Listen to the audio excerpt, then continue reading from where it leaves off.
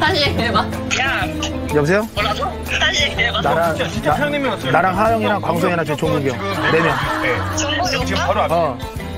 왜? 쌤쌤아. 어, 형, 여보세요? 어, 나 깜짝 놀랐네. 쌤쌤아, 어, 형, 여보세요? 안 그래도 안 그랬어.